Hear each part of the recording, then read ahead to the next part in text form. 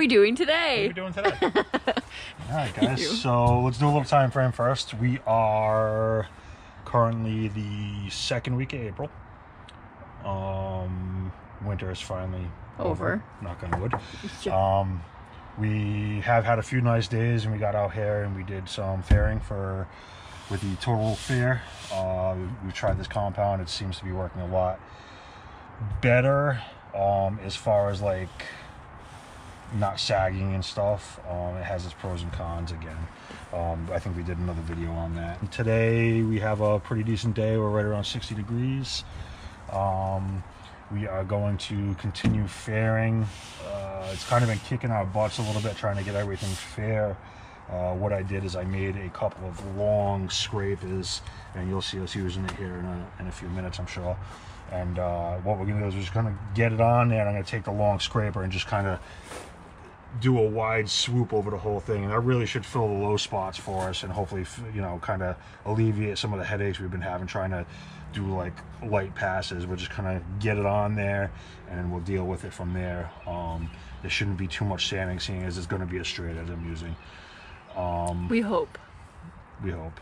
You know whatever i'm going to sand it either way so at this point don't matter. I just kind of want to get it fair and painted so we can get it flipped. This is gonna be the fourth coat on this Um, side. fourth coat but we haven't done like Full coats. full coats. We've done like we did the seams the last time. Um, we're, we're still staying about six inches up from the bottom uh, where the gunnels go because we will have to fiberglass this all, all after we flip the boat. The gunnels get fiberglassed onto the outside. Um, but yeah, so that's kind of where we stand. Um, today we're gonna do some fairing because we need to get remotivated here to uh, get going on this. We've been working on our other boat, trying to get that in the water and stuff too. So we're using Total Fair. Yep. Um, if you go uh, to totalboat.com, use our code for 10% off. Fi- Fifteen. Wait. It's either 10 or 15, I forget. Oh my god. Yeah, it's been, a, li- while. It's been a little while. Sorry, Total Boat. Um, but use our code at checkout, and you'll get, I, I believe it's 10% off one-time use code. Um, yeah, Cassie will put the link in the description below. Yep.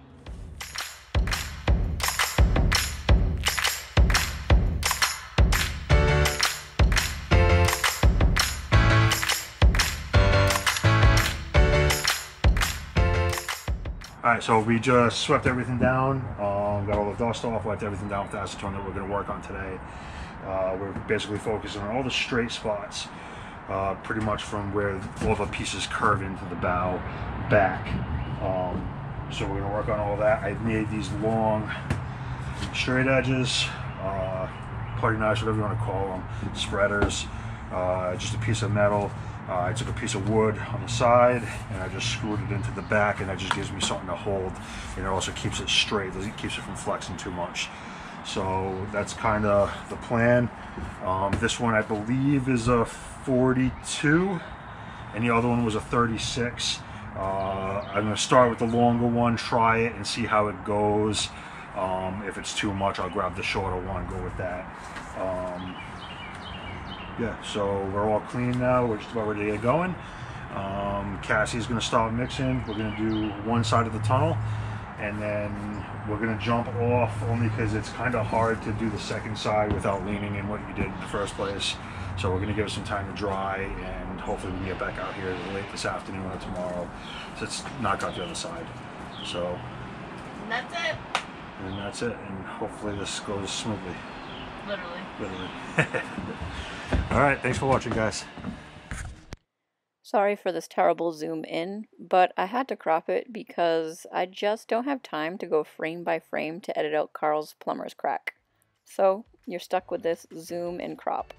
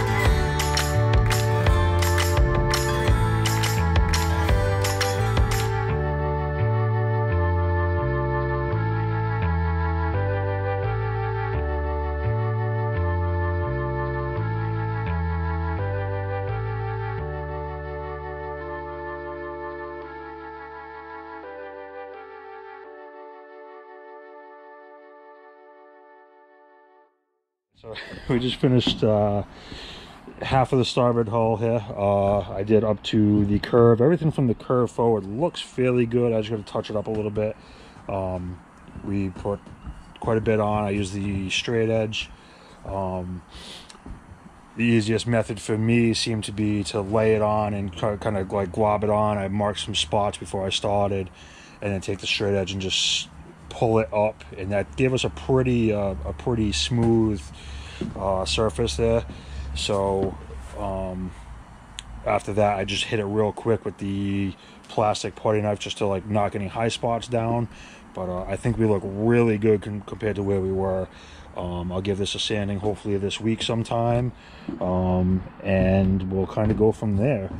Uh, it seems to be working out so far. Uh, know, any tips or suggestions from people that, that have done this before I mean, by all means um, you know it's definitely a new world to us so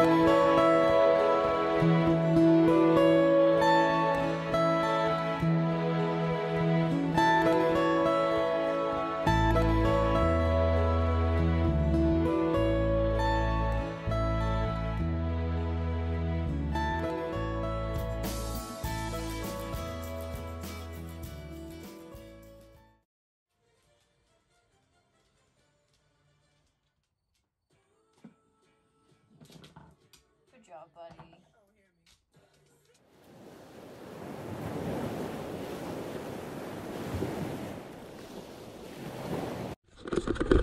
Action. All right, guys. So we just finished up the would be the starboard hull. Um, here, all the total. No, it's a starboard.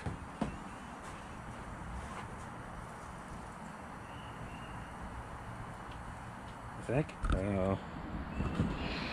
Cassie says it's oh, the port. It.